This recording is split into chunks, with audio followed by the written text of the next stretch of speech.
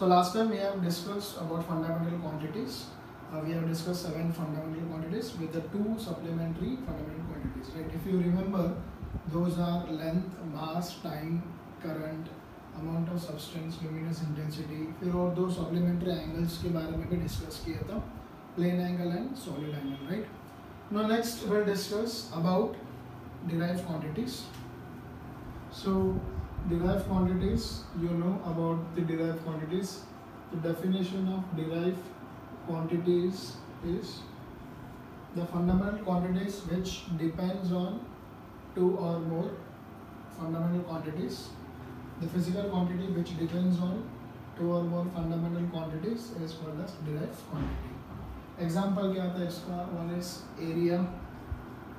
Area को अपन लिखेंगे length into breadth next volume length into breadth into height next velocity displacement upon time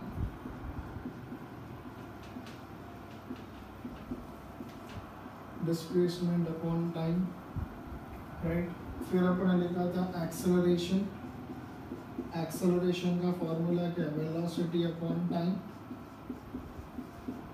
velocity upon time road is velocity displacement upon time it is displacement upon time upon time तो denominator में क्या हो जाएगा? Time square ऐसा कोई भी term लो जिसमें area depends on length and length volume depends on length length length and velocity depends on length and time acceleration depends on length and time तो इसके आर एच एस में सारे के सारे फंडामेंटल क्वांटिटीज हैं। तो इसको अपन क्या बोलेंगे? दीज आर डिराइव क्वांटिटीज कोई भी एग्जांपल लो उसमें यही आएगा। फॉर एग्जांपल लो फोर्स फोर्स का फॉर्मूला क्या है? Mass into acceleration mass into acceleration where acceleration is what? Displacement upon time square. So displacement upon time square. Mass is a fundamental quantity. Displacement is a fundamental quantity. Time is also a fundamental quantity. So a quantity which depends on fundamental quantities for their measurement is called as derived quantity. So force अगर अपने को major करना है तो अपने को मास पता होना चाहिए डिस्प्लेसमेंट पता होना चाहिए और टाइम पता होना चाहिए। That's why force is called as a derived तो इन शॉर्ट समझ में आया सबको? Fundamental and derive quantities fundamental means उसको मेजर करने के लिए कोई दूसरे चीज़ की ज़रूरत नहीं होगा। एंड डिराइव क्वांटिटी मीन्स इसको फाइंड आउट करने के लिए पहले अपने को ये निकालना पड़ेगा, दो तीन टर्म उसके बाद अपने को ये मिलेगा। तो ये डिपेंड है और फंडामेंटल किसी के ऊपर डिपेंड नहीं है। This is the shortest difference between fundamental and derived quantities. Okay? Now now we'll uh, start with the next topic.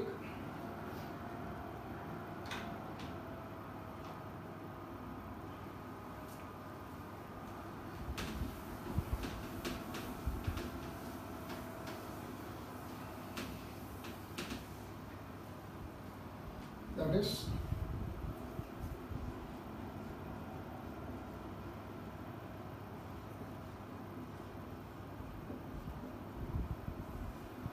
systems of units.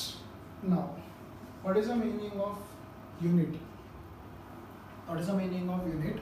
जो भी फ़िज़िकल क्वांटिटी है, उसको मेजर करने के लिए या उसको एक्सप्रेस करने के लिए we need one term that term is called as unit means for example अगर मेरे पास लेंथ है, इस रूम का मान लो लेंथ है थ्री तो थ्री क्या बोलते हैं अपन? थ्री मीटर बोलते हैं ना उसको. Three meter three hundred centimeter ऐसा कुछ ना कुछ वर्ड अपन यूज़ करेंगे नंबर के बाजू में। तो वो जो वर्ड अपन यूज़ कर रहे हैं मीटर सेंटीमीटर जो भी है, उसको अपन क्या बोलेंगे it is unit unit is very important very much important because अगर मैं बोलूँगा लेंथ इज़ थ्री तो थ्री क्या है? थ्री किलोमीटर है कि थ्री मीटर है कि थ्री सेंटीमीटर है? मैं थ्री सेंटीमीटर बोलूँगा तो इतना होगा। थ्री मीटर बोलूँगा इतना होगा। थ्री किलोमीटर बोलूँगा तो बहुत बड़ा हो जाएगा। तो यूनिट ऐड करने से उस वैल्यू उस क्वांटिटी का वैल्यू क्या होगा? पूरा चेंज हो जाएगा उसमें राइट तो ऐसे टोटल कितने टाइप्स का यूनिट्स है। हर एक फंडामेंट हर एक क्वांटिटी का एक यूनिट होता है। तो आप लोगों को पता होना चाहिए, हर एक फ़िज़िकल क्वांटिटी का यूनिट क्या है और इसका कन्वर्जन्स क्या है। कितने टाइप्स के यूनिट्स हैं। तो टोटली अगर अपन देखेंगे सिस्टम्स में कितने टाइप्स के यूनिट्स हैं there are three types of units one is M K S first one is M K S Second is C G S and third one is FPS. So there are three types of the systems of units. One is MKS, second is CGS, third one is FPS. MKS unit अगर मैं बोलूँगा तो in MKS unit M stands for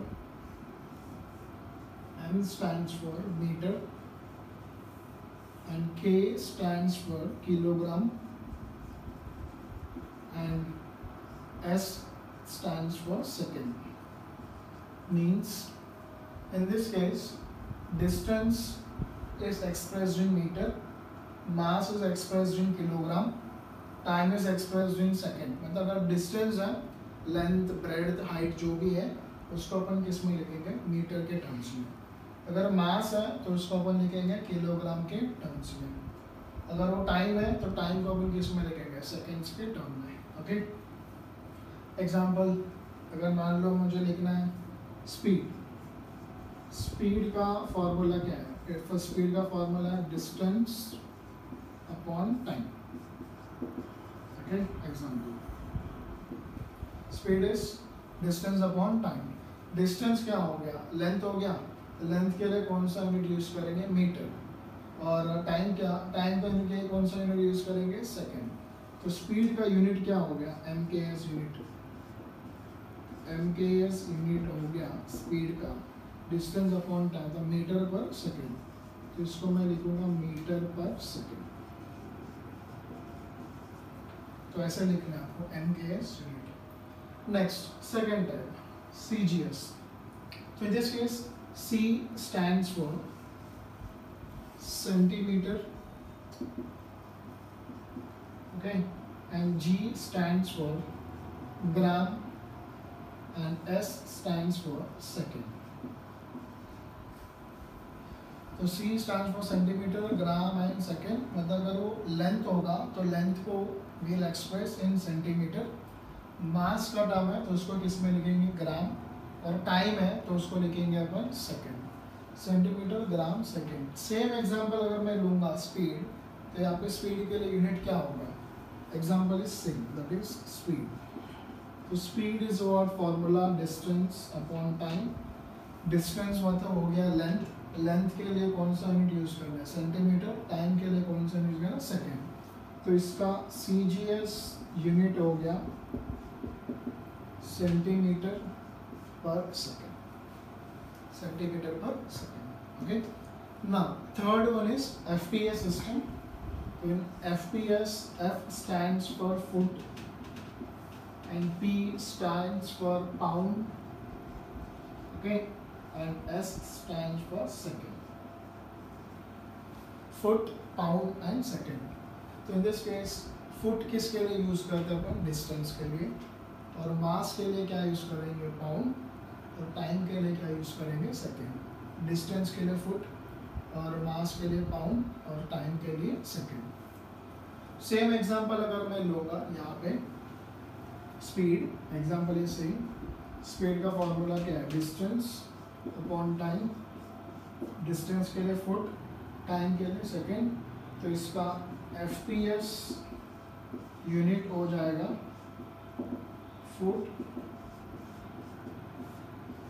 पर second ऐसे so basically we have three types of systems of units कोई भी physical quantity को आप एम के एस यूनिट में भी लिख सकते हो सी जी एस में भी लिख सकते हो, और एफ़ पी एस में भी लिख सकते हो उसमें ओके लेकिन अब बहुत बार टेंथ स्टैंडर्ड में आप टेक्स्ट बुक में रीड किए होंगे एस आई यूनिट करके। उसका असाइनमेंट ये है। आई यूनिट करके बहुत बार वर्ड यूज़ हुआ रहेगा। वो तो इसमें दिख ही नहीं रहा है। एम के एस है C G S F P S है, लेकिन तीनों में एस आई सिस्टम नहीं है राइट एक्चुअली एस आई कुछ अलग नहीं है S I system is nothing but M K S M K S system को ही और एक नाम क्या है? M K S system is also called as what S I system तो एम के एस को ही बोलते हैं S I system S I unit तो एस आई यूनिट बोलो एम के एस यूनिट बोलो, दोनों का मीनिंग क्या है? सेम ओके तो M K S C G S and F P S और अपने को ज़्यादा यूज़ होगा M K S and C G S इस एफ़ पी एस को ज़्यादा अपन यूज़ नहीं करते। तो अगर आपको एम के एस याद है तो आप ऑटोमेटिकली सी जी एस लिख सकते हो कोई भी टर्म सिर्फ़ आपको चेंज याद होना चाहिए। मीटर को किसमें लिखने का सेंटीमीटर किलोग्राम को लिखना है ग्राम टाइम तो सेम ही रहेगा सेकेंड और सेकेंड तो ज़्यादा अपने को यूज़ होगा M K S system and C G S system कोई भी न्यूमेरिकल आप सॉल्व करोगे, जब फाइनल आंसर आपको मिलेगा, उसके बाजू में आपको यूनिट लिखना ही पड़ेगा। विदाउट यूनिट आपका आंसर आपको वॉन्ट गेट फुल मार्क्स तो हर एक physics means numericals numerical solve करना ही है, और उसके बाद जो फाइनल आंसर आएगा, उसका प्रॉपर आपको यूनिट स्पेशल ऐसा यूनिट तो लिखना ही पड़ेगा आपको. अगर मैं ये यूनिट नहीं लिखोगे तो मार्क्स कट होगा उसमें right so without this units आप एक भी क्वेश्चन सॉल्व नहीं कर सकते हो. तो इसलिए बहुत इंपॉर्टेंट है ये topic for numericals and for the entire physics okay so आज के लिए होमवर्क है. आप फोर्स ओके एरिया और